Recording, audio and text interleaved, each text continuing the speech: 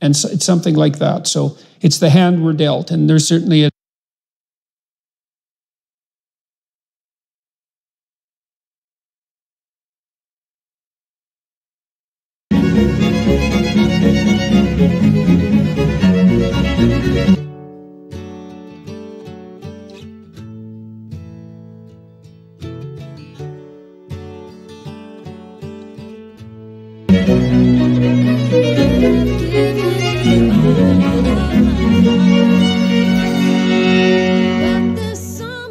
Everyone. I'm pleased today to be talking to Congressman Dan Crenshaw, who I've had the privilege to get to know over the last couple of years. Most recently, Congressman Crenshaw set up an event for me in Washington where I had the privilege of speaking to a large group of Republicans concentrating on policymaking about the possibility of generating a positive message going forward bulwark, let's say, against the possibility of a kind of reactionary populism.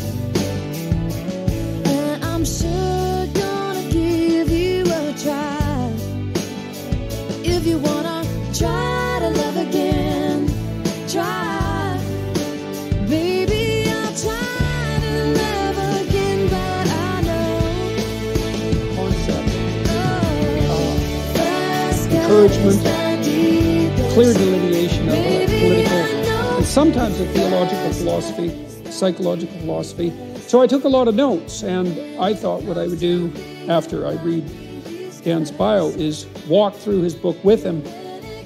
There's a lot of places where our thinking dovetails, I suppose, which is why it's easy for us to get along. Uh, and I think we could have a very productive discussion as a consequence. So I'll start with the bio. Originally from the Houston area, Representative Dan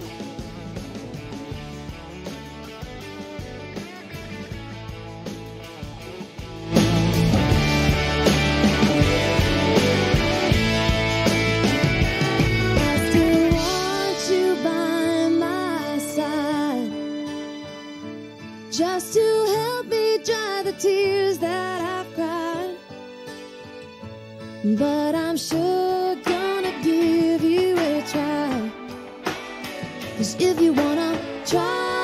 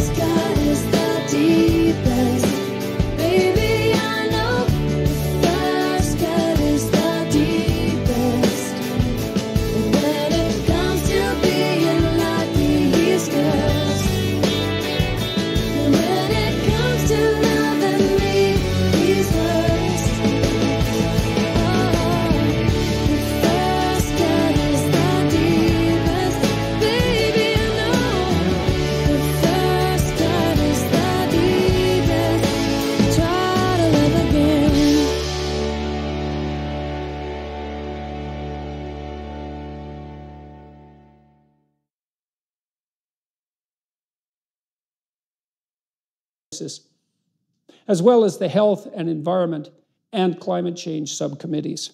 So,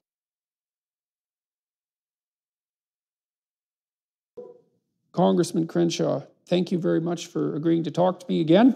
Uh, it's much appreciated, and uh, kudos on your book. How's the book doing, by the way? uh, pleasure to be on, Jordan. Appreciate it. Uh, it's doing. It, it did really well. Um, it, it came out. It's a little old at this point. Um, came out in 2020, and uh, did, did quite well um, because it, it wasn't a political book. I think um, there's definitely a ceiling for politicians to write a book as far as how many, a ceiling as far as how many they'll sell. Yeah. Uh, I think we did much better than that simply because it's not a political book and it, it's not even a seal book. Um, it's a little